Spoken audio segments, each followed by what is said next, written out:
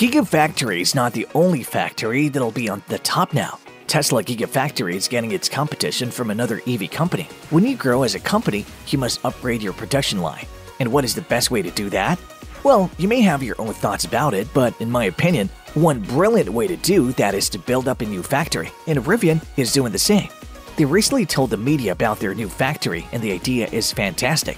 If you have missed it, then no worries because we'll take you on tour inside the Rivian EV factory. Wait a while, I guess I'm jumping ahead, as many of you may not even know what Rivian is and its goals. Well, if that's the case, then there is nothing to be ashamed of. It's entirely alright. Just allow me to help. Rivian Automotive Inc. was created in 2009 as an electric vehicle manufacturer and automotive technology firm in the United States. Rivian is developing an electric SUV and pickup truck based on a skateboard framework that may support future cars or be used by other businesses. These cars are made to be driven both on and off the road. As part of a collaboration with Amazon, an electric delivery van is also being developed. As of July 2021, both the pickup truck and the delivery van are in the early stages of production. Rivian delivered 1,000 R1T in 2021 and made 5,000 cumulatively. By 2023, the business wants to develop an exclusive charging network throughout the US and Canada. Rivian is headquartered in Irvine, California, with facilities in Palo Alto, California, Carson, California, Plymouth, Michigan, Vancouver, British Columbia, Wittmann, Arizona, and Woking, England. Following its IPO in November 2021, the firm raised approximately 13.5 billion US dollars in funding, indicating that it might become a significant competitor to Tesla. In my opinion, this company is no match for Tesla. They're still new in the market and working on their products, but as every investor out there, I see a lot of potential in this company.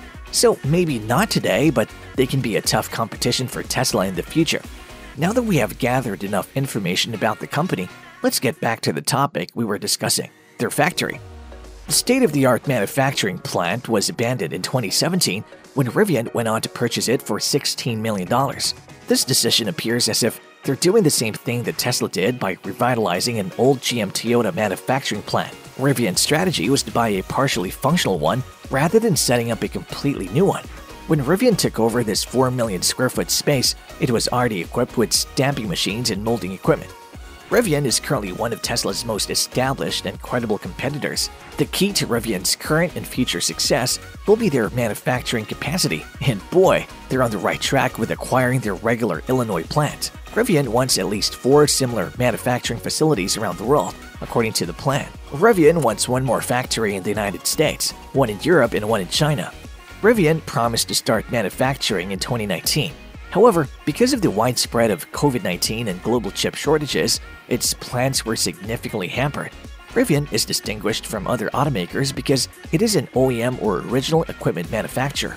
Unlike other automakers, Rivian manufactures many of its own parts rather than depending on suppliers. Rivian retooled existing presses in the factory so that they could stamp aluminum and steel on their own. Currently, Rivian can imprint 300 different body parts for its R1T or R1S. The plant also includes ancillary items like Rivian's DC rapid chargers. This helps Rivian maintain its quality standards, allowing for design changes on the fly and faster delivery dates. The facility's vertical integration has also brought up several possibilities.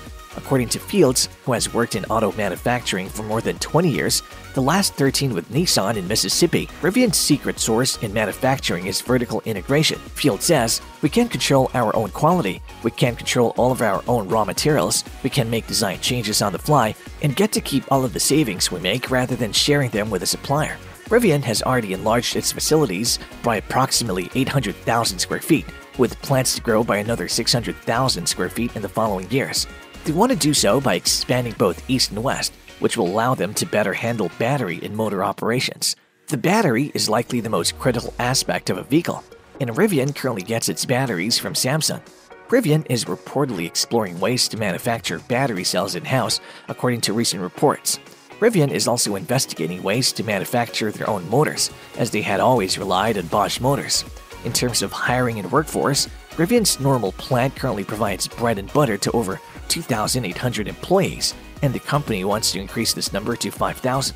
We're still in need of team members, group leaders, tool and engineer, and analysts, and there's no one place where we're completely satisfied and done with our hiring, Field said. If you like, you should apply for a job there, maybe you will get it. This was all a look inside the current factory, but Rivian has announced that it has selected a location for a second facility in Georgia. The electric vehicle manufacturer says the new facility will cost $5 billion, so it's safe to assume it'll be enormous and packed with innovative features. Rivian Forums has released plans for the new factory, including a lot of information. The plant will be spread out over 2,000 acres. Furthermore, the structures themselves will cover a staggering 20 million square feet. Rivian's main plant in Normal, Illinois, formerly a Mitsubishi factory, will have nearly 4 million square feet after plant extensions are finished. There will be numerous buildings, a test track, an adventure trail, and much more at the complex. Rivian also released a PDF showing their plans for this new factory. If you like, you can view it. The link will be in the description, so feel free. 144 EV chargers, a training center, an R&D building, a distribution center, several outdoor amenity spaces, garbage and recycling facilities, and much more will be available at Rivian's planned Georgia location. Rivian's adventure vehicle motive is well known, and the company is counting on its car's remarkable off-road skills to attract purchasers. As a result, it's no surprise that the plant will have its own adventure trail. Rivian will most certainly take a long time to ramp up production and become a significant player in the EV industry. Yet, many feel it can easily follow Tesla's lead and achieve great success in the future.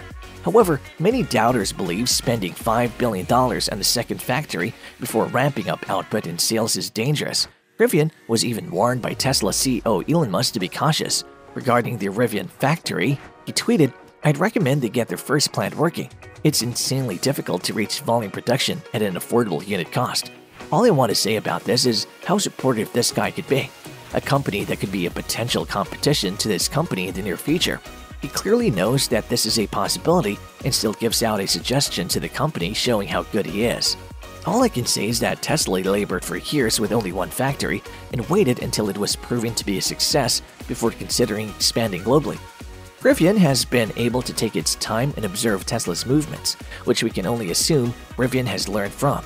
Tesla cleared the road for electric vehicle startups like Rivian to think about what to do and perhaps more crucially, what not to do. Rivian, instead of following in the footsteps of many other EV firms and going public via a SPAC merger, went with a regular IPO.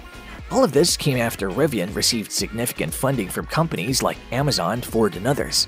Furthermore, before attempting to persuade the public that it was capable of success, the corporation shared extensive testing and demonstrated its vehicles and their capabilities for an extended length of time, Meanwhile, some EV businesses are attempting to succeed despite a lack of sufficient proof of concept. Let's hope Rivian is on the right track. If they continue to work as hard as they are working now, they could be a tough competition to Tesla. Hopefully, it will. Fingers crossed.